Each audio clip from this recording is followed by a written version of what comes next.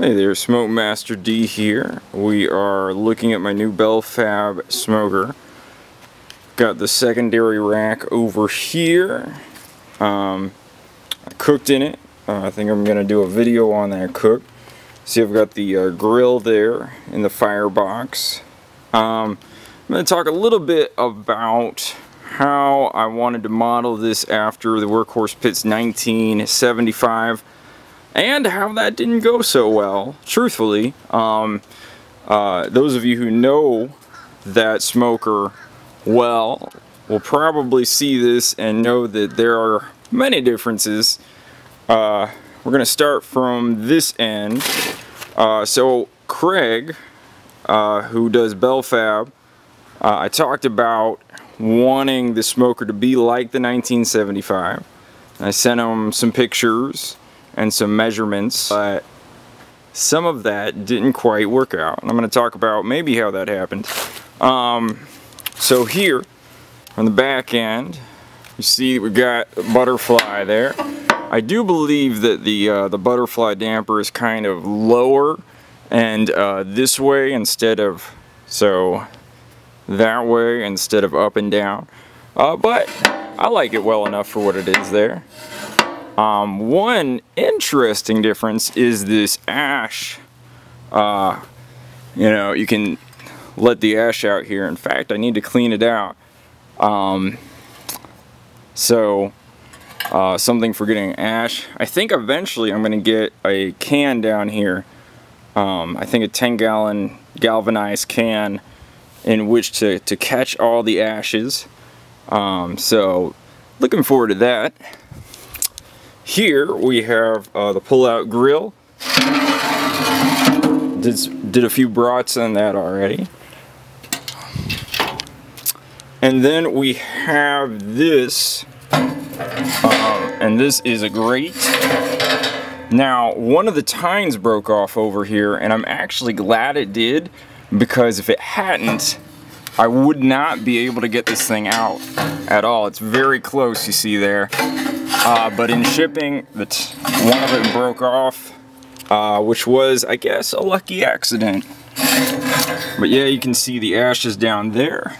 Now, one of the things you may notice is that this is a 20 inch diameter firebox, whereas in the Workhorse Pits 1975, it is 24, just like the main chamber. You may notice that the Millscale actually has a 24 inch chamber like that and a 20 inch firebox. So if that profile seems similar to you or familiar to you, that may be where you see it. Uh, we have these lid catches here. Uh, they are, you know, very functional, not the fancy horseshoes that they have for workhorse pits. Um, so there's that. Now, the other really big difference on this end is the throat of the smoker. Uh, I sent a picture of what it should have looked like. Um, Craig asked me to to do a different way and I was kind of nervous uh, at that point. Um, I had asked for this 27 inch firebox which I'm happy with. I like that extra few inches there. Uh, but Craig had to get it. He didn't have one. Um, which surprised me because I just thought, you know, you cut cut off some of the pipe for the, the firebox. But apparently that's not how it's done. Um, so I was nervous. Uh, I probably should have pushed for having the damper the way that I liked. But you can actually see it here, and this is, you know, a pull-out rack. I like the pull-out rack, actually. Um, that is a fun thing. But that is the plate there. And I had originally been thinking, you know, maybe I'd put some holes in it. It's very close though to, to this grate. What the firebox, or what the connection for the firebox should be, this is a model, is something very like this. So the overlap over there is 12 inches but only six inches high you have this so there's actually six more inches that are just covered up. Wherein the top of the firebox is there, and so there's a part that's covered with just metal flat, and then there's this thing. And of course the way that it works is, you know, uh, sort of have it down here, it's pushing, you know, that hot air down. It's also going to have some hot air curling up around this side to get heat to the to the the part closest.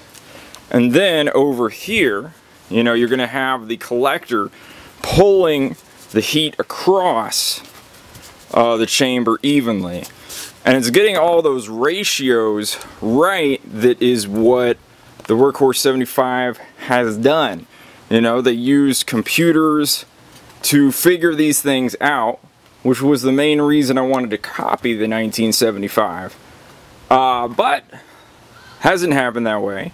And part of me wants to be disappointed, but another part of me likes to be optimistic, kind of likes the challenge. So I do think that I'm probably going to cut this plate off and I'm going to try to cut from this plate, you know, this, I'm going to try to cut what I need to cover and create that six inches uh, down to top and then put this in there. It's going to require some cutting and tack welding, I believe, maybe some more than tack welding. But that is my hope of uh, what I'd like to do. So the other thing over here is that some of the dimensions for the smoke collector are off. The, this smoke collector, of course, um, has that, that bar there, which I don't think is a big deal. It's not something that's in the 1975 though. They uh, actually have a video wherein they make a smoke collector for a, um, a Yoder Wichita. And that's in the tutorials. Uh, and when you see that, you'll notice that the collector goes all the way over and that it goes below the grate. So this collector is small in a few ways. It should go a little bit farther down. It should be, you know, five or six inches uh, down. It should go all the way across and it should come around the pipe. And the way they do it is they actually have the pipe sitting on the bottom and cut open like this, but there's a passage behind it And this one, there's like a little V section that's gonna, the air is gonna hit on it and have to come back. Uh, but in the one for the workhorse pits, this part is open and air can actually flow around the back. I'm not entirely sure uh, if that is for better air circulation or, or how that helps actually. Now, uh, so I've got my stack here. The stack is also short uh, I think Craig did see that number of, uh, I think it was 45 inches. The thing about that is that the 45 inches was supposed to start at the top of the collector. Um, so this thing is actually short by about 9 inches of the Workhorse 1975. And uh, when we put it down, oh, I've got the, uh, so I've actually got this pin in here. Um, uh, and you know it's just a uh, nut bolt kind of deal there uh, screwed in. So can unscrew screw it in. Uh, let me undo it here. So also I don't have the little ears on the damper for the stand which I'm not too uh, upset about that all right. So there we've got it down. You can see there. It doesn't really even go past um, this first part. Another interesting thing is that there's only one connector here, so it's very kind of loose. In the 1975, they have two, two of these, one here and one there, and that gives their um, connection much more stability. So it has to be really in the right place. Uh, so they have a little bit more workmanship in making it uh, very good to uh, you know, to come up and down um, in, a, in a more stable kind of way. So, yeah, I, I put on these uh, Tel-Tru thermometers. The thermometers are telling me that I have about um, 25 to 50 degrees hotter on this side than this side. And that, of course, is because all that hot air is, you know, um, coming off of this plate and coming up, leaving a, a cooler area, especially right there. Um, I haven't done a biscuit test, I've thought about it, but with that great inequality, kind of know what it would look like probably. So, you know, uh, like I said, I'm to do the plate there, hopefully in the near future. Maybe I'll make a video about that. Uh, let's see. Got my wood rack down there. Is there anything else I wanted to say? Oh yeah. So when I told Craig about the difference in the temperature, his thoughts were that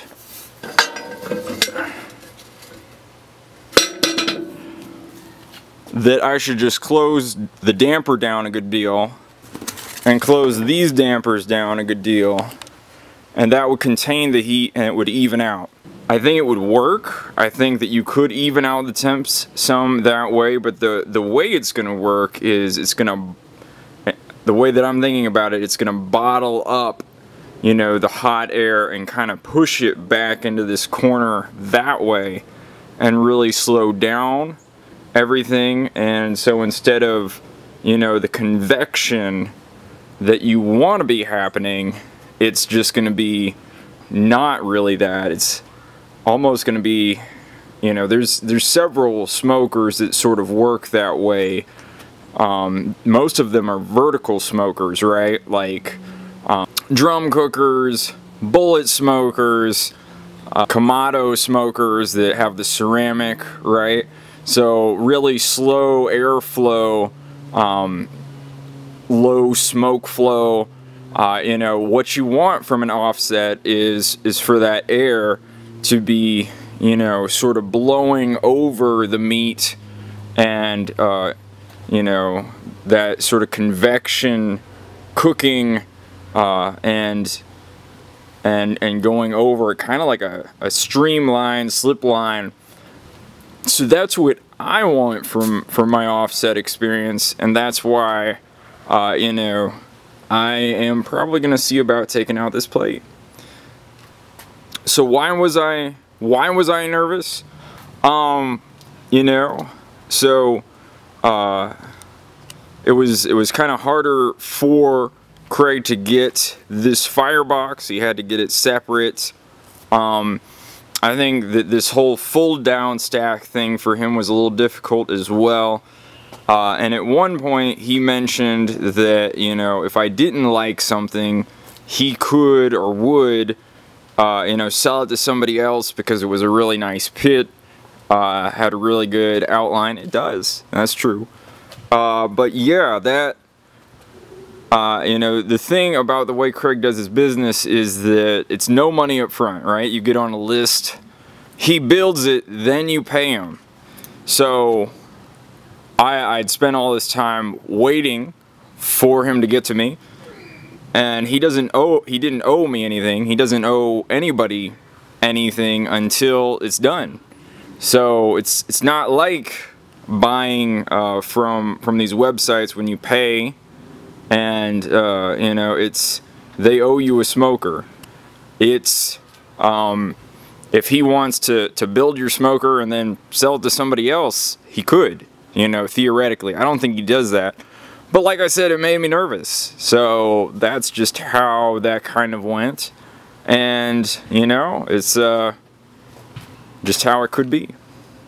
Yeah, that is a walkthrough. Uh, it's, it's maybe not the most glowing review, I know. Uh, and some of that is, is my fault. I just want to say that I was not as clear in everything about what I wanted. Uh, I should have said that I wanted a 24 inch diameter uh, firebox. I should not have conceded on having this be that the way that it is. Um, and when I saw pictures of the collector, I should have have talked to Craig a little bit more about that. Um, I do think Craig didn't look at my notes quite as much as maybe he should have. Uh, but, you know, um, I think when I asked him to copy that kind of smoker, he, he was a little bit offended when I asked him to look at some videos. Weekend Warrior has a really great one on the 1975 and a walkthrough. Uh, you know, it's like he could do it. Uh, so, you know, I didn't want to offend him. For what I have here uh, and the pricing, I'll just say that the price that I paid for this smoker was 1900 minus the wheels and uh, uh, of course the thermometers and uh, the finish didn't come with it. I think that he would have put on the paint for that price. So um, I'm not entirely sure, but that that was what I was thinking. But yeah, so um, and then I think uh, terminal to terminal, I think I did about 355 in shipping to North Carolina. So really not bad altogether. Uh, hit my budget pretty well.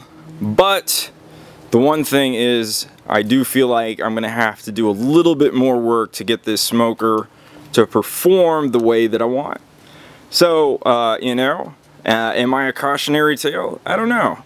Uh, you'll have to decide. Um, and if you do get a smoker from Craig, uh, he is a great guy, you know? Um, somebody who will work with you. And uh, if you take some of my notes on on how this went maybe uh, your smoker will come out even better than mine.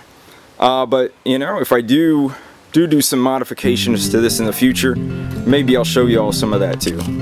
Alright signing off. Uh, Smoke Master D